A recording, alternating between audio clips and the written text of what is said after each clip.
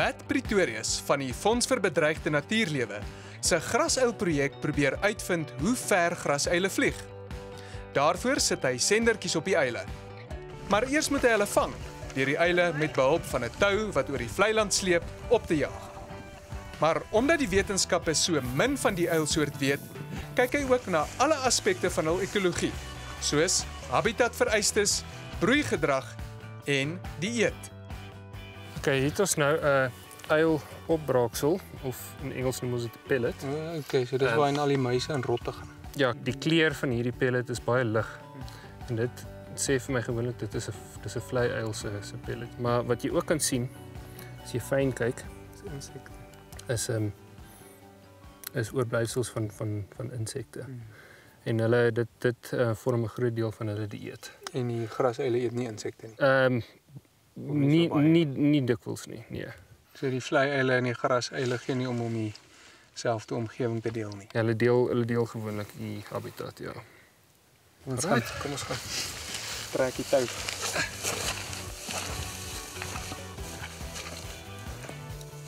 Maar het dis nie so makkelijk om 'n grasuil te vinden. nie. En dis nou juist die ding. Grasuile vlieg van gepaste vleiland naar vleiland om te jagen. So, hierdie kan 'n jaggebied wees en die nes ergens anders.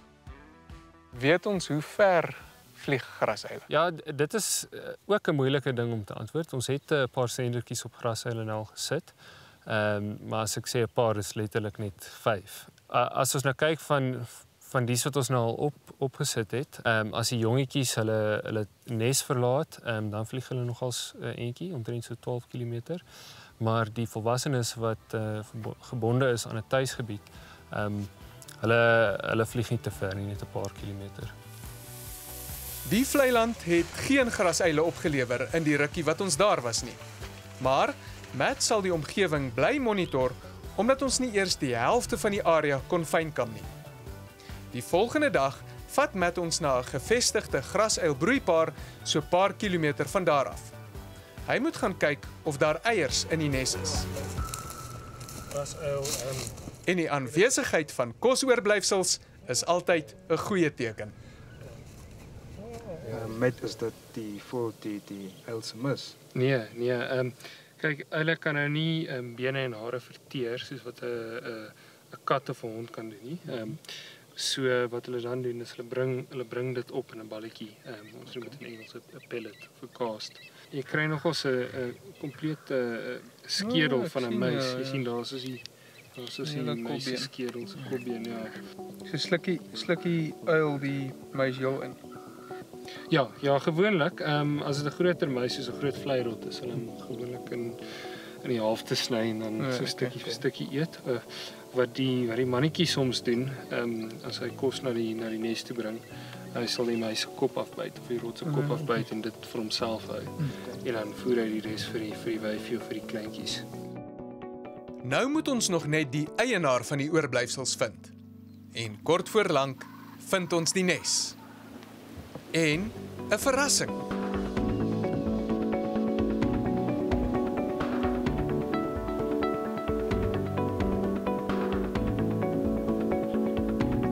Dis die wyfie wat wegvlieg. En toe ons die grasse van naby beloer, kry ons 5 spierwit eiers in die nes. Met dit is nogal spesiaal om op eiers af te kom. Ja, nee, dit is baie. Ek moet vir jou sê, jy weet ek ek vind omtrent net 6 neste elke jaar en ek het omtrent 15 verskillende plekke wat ek wat ek vir hulle soek. So ehm um, dis Dis baie spesiaal. dis baie spesiaal, ja. Wow, ja. En uh veral 5 eiers, dis nogals baie. Wat is die wat is die algemene hoeveelheid wat hulle lê? Tussen tussen 3 en 4. En die omstandighede hier moet perfek wees vir hulle om eiers te lê. Ja, ons beskryf? Ja, kyk as jy as jy kyk na die gras, ehm um, dis dis redelik hoog, maar is baie dik. En dis die belangrike ding. Ehm um, as jy kyk na die nes, ehm um, dis hulle bou 'n tonneltjie. Uh, so dis die belangrike ding dat dit dat dit redelik donker donker is in die in die hoofkamertjie. Ja. En hoeveel van hulle bereik op die ount volwassenheid? Ehm um, min dis hulle broei sukses is baie laag. Dis omtrent so so 30%. Ehm Sure. um, uit elke 6 neste is daar dalk 2 wat dit sal maak. So dis baie laag. Ja. Hierdie eiers en die nes sal nou dopgehou word om te sien hoeveel kleintjies dit tot volwassenheid maak. So, nou dat mens weet hoe rar grasuile is en hoe min van die kleintjies dit eintlik maak, besef mens net hoe wankelrig die toekoms van die eile is. In 'n laaste poging om die Kyalami grasuilpaar se toekoms met die ontwikkelaar te bespreek, het ons nog 'n versoek aan hom gerig. Die keer het ons wel 'n antwoord gekry, maar die ontwikkelaar kon nie die datum van die onderhoud maak nie omdat hy buitestedig is. En dis nou al amper 'n maand sedert ons eerste korrespondensie aan hom. Daarom het ons besluit om by die Gautengse departement wat verantwoordelik is vir die omgewing te gaan raad vra oor die situasie in Kyalami. If we find that we are looking at a specific development that's happening now where something has not been destroyed yet. What can I do to come to you and say, Puti, this is happening. We, today, we still have these grass owls here.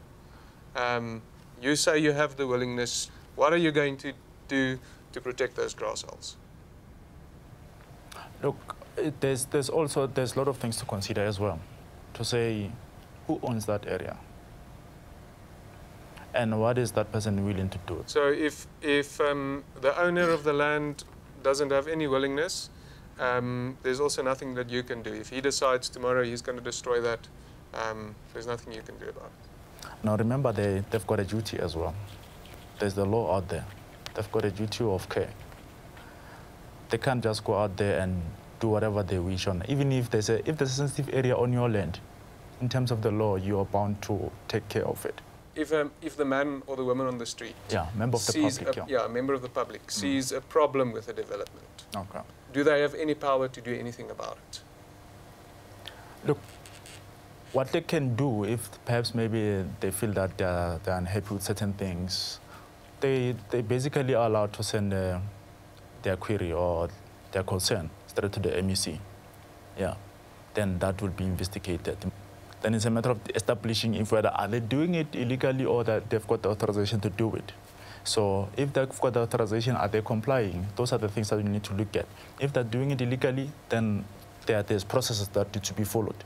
Yeah, in making sure that uh, you address the issue on site.